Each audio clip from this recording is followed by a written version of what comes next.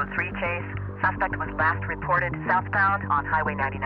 068, 1043 with the pursuit.